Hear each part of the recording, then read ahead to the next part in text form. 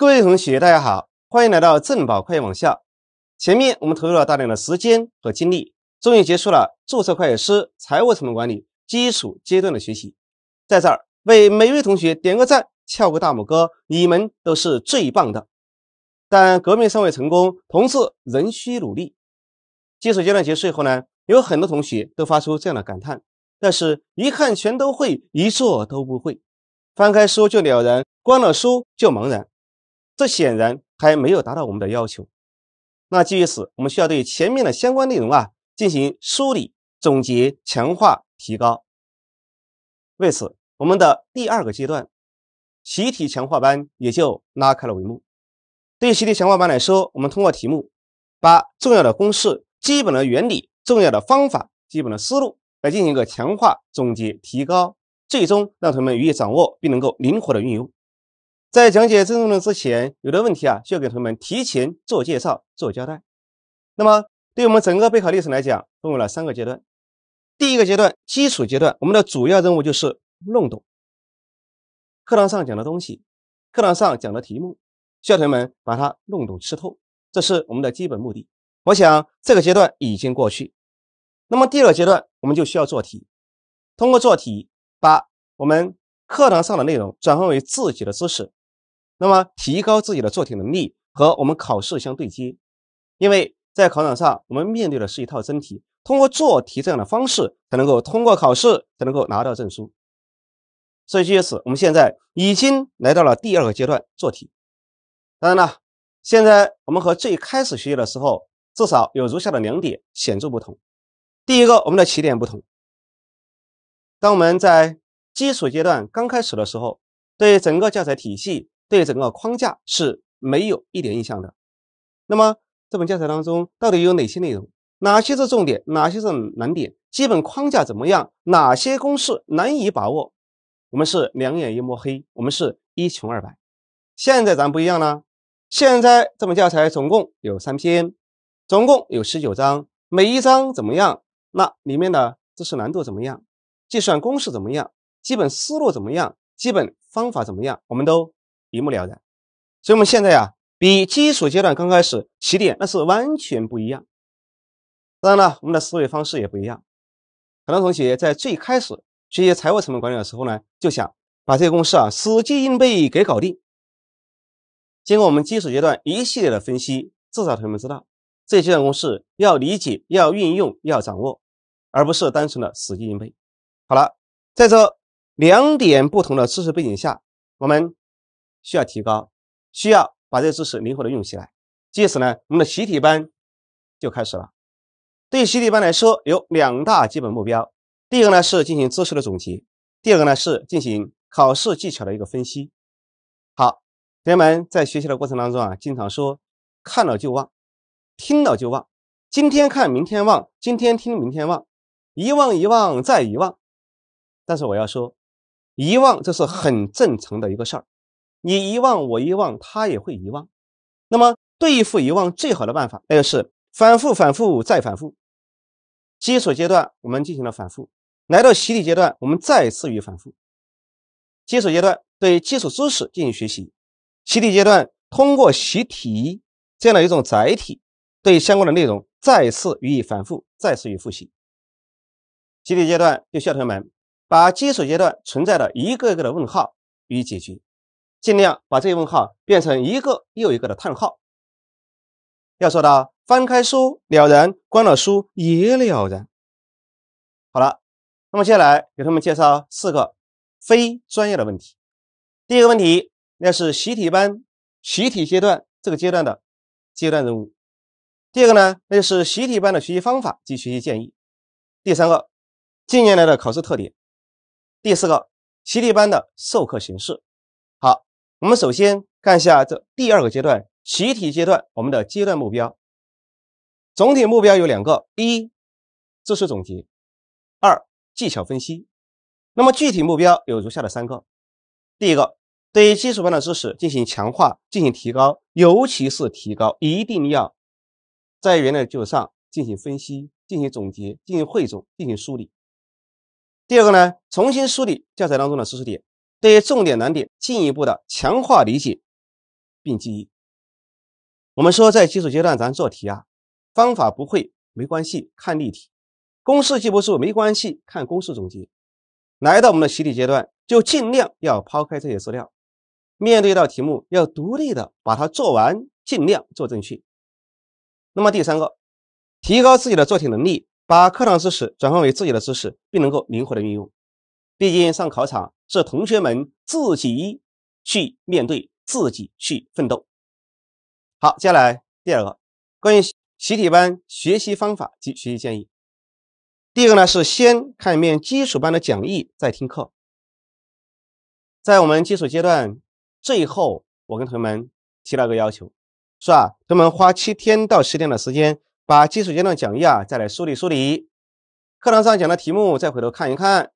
涉及到重点的计算公式，再来记一记；涉及到相关的思路，再来捋一捋，对吧？那么，在我们学习习题班之前啊，我同样有这样的要求：把基础班的讲义、基础阶段的讲义再看一看，再捋一捋，最好能够独立的做出基础阶段讲义的课堂例题。课堂上我跟同学们讲了一遍，当时呢，我们课下又看了一遍，现在再回头来看一看，是否能够独立的把它做出来。这是学习习题班一个前置性的工作。好，第二个，学会相关知识的总结，注意前后的对比。你比如说，我们涉及到第三章的第三节有资本资产定价模型，它会在哪些地方有所运用呢？你想一想，我们在第四章当中啊，涉及到关于普通股资本成本的计算，那是不是有资本账定价模型呢？那么由此呢，在后面一系列的计算当中，比如说第五章关于项目资本成本的计算当中有所涉及。你再比如说我们的第八章呃第七章第七章企业价值评估当中是吧？这呢权益资本成本的计算也有所涉及。所以这些内容啊前后有所联系，有所关联。当然，再比如说我们的管理用财务报表体系，对于管理用财务报表体系啊，那我们涉及到的就更多了，对吧？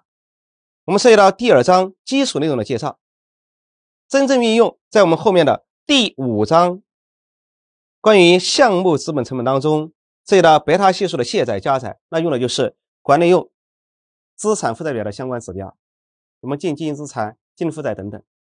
再比如说，我们来到了第七章企业价值评估、现金流折现模型，那些现金流量，那都是用管理用报表体系来进行分析的。所以前后啊，那一定是有联系的。在第二阶段，我们叫人为的或者说主动的，就把这些联系总结起来。那么第三个呢，把握教材脉络，摸清出题特点，并有针对性的予以学习。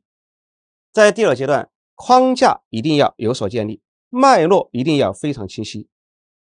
我们在考场上啊看到一道题，你至少应该知道这道题啊，在我们教材的哪一章哪一节，用的是哪个方法，用的是哪个计算公式。要在极短的时间把它进行一个精确的定位。如果说，哎，看到一道题，你都不知道在哪个地方学过它，脑子里面一锅粥，好像是第三、第四章不对，好像是第五章，好像也不对。那我想这道题做正确的概率就相对比较低了。所以啊，来到第二阶段，教材的整体脉络、整体的知识框架一定一定要有所建立。好，接下来我们看第三个问题：近年来的考试特点。好。首先，第一个特点，考察的范围较为全面，章章都有题目。当然了，并不是每一章都平均用力。比如说第一章，光景好的年份呢，一道题也就两分，客观题。那么，对于哪些章节比较重要呢？出主观题概率比较高的章节就比较重要。好，哪些章节出主观题的概率比较高呢？简单跟他们说一说啊。首先，第二章，财务报表分析以及财务预测。这出主观题的概率比较高，并且呢，第二章是一个基础性的章节，即便它不出主观题，也可以把相关的指标、相关的计算公式在其他章节来予考核。好，这第二章，接下来第五章关于项目的决策。好，那项目的决策几乎年年都有主观题啊。第六章期权价值的评估啊，今年又增加了实物期权，这期权价值的评估要注意一下。第七章企业价值的评估。现金流折现模型、相对价值评估模型。接下来第九章长期筹资要注意三点：第一点，负任务权证的公司债券它的筹资成本；第二点，可转换公司债券它的筹资成本；第三点，租赁方案的决策都是主观题的出题点。接下来第十二章，第十二章是什么呀？产品成本计算是吧？方法比较多，注意表格题目。下面第十五章本量力的分析和十六章短期经济决策，哎，它们是一个有机的整体。下面呢，第十七章关于全面预算独成体系，这一章节出主观题的概率都比较高。那么是其他的章节就不出主观题呢？概率相对低一些，但并不意味着不出主观题。比如说，我们去年考试经济增加时就出来一道计算分析题啊，所以啊。我们整个做块的财务成本管理考察是比较全面的。来到第二个阶段，我说咱们在强调重点的同时，也依然要全面复习。好，第二个，计算量相对较大，时间比较紧张，所以第二个阶段我们同学们提两点要求。第一个要求要计算正确，是吧？公式列出来，我们事实搞定了，那计算不能出错呀。第二个，那就是速度要跟上，速度跟上。那么在考场上，一百五十分钟的时间，很紧张，很紧张，很紧张。